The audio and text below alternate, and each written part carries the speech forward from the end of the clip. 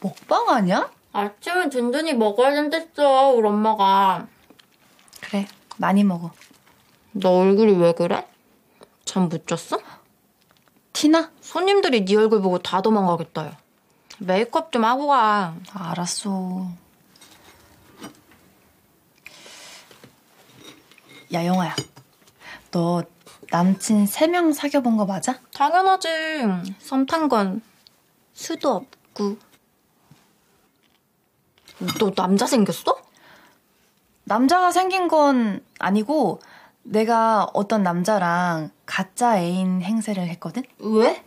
그냥 얼떨결에 해줬는데 근데 그 남자가 전 여친을 다시 만나니까 기분이 좀 이상해. 왜 그런 거야? 질투하는 거네. 질투? 아니야 그런 거. 그럼 기분이 왜 이상하냐? 싫으니까 이상한 거지. 애초에 가짜 애인 행세 해준 것부터가 그 남자한테 마음이 있었던 거야. 그리고 그 남자 나쁜 놈이네. 자기 좋아하는 여자 이용해서 구여친이나 자극하고. 이용? 그 남자 너 이용한 거야. 구여친한테 복수하고 싶거나 아니면 뭐 아직 미련이 남았거나. 누구냐? 그 나쁜 놈. 아 빵이야 돌이야 왜 이렇게 딱딱해? 밥 안 먹어도 배부르다. 그치?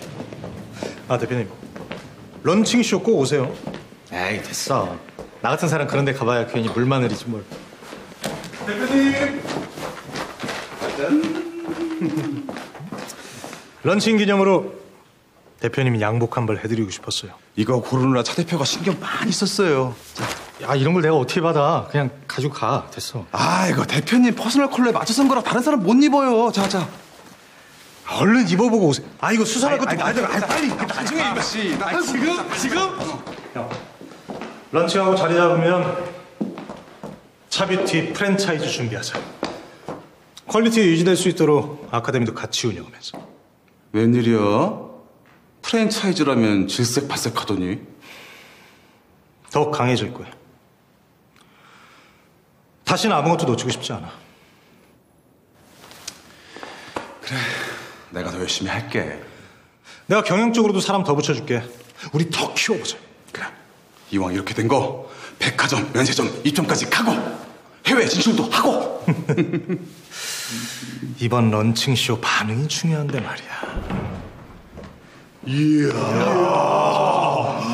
옷이 사네, 옷이 살아. 대표님 덕분에 옷이 살아. 아, 이런 좋은 언다는 처음 입어보네.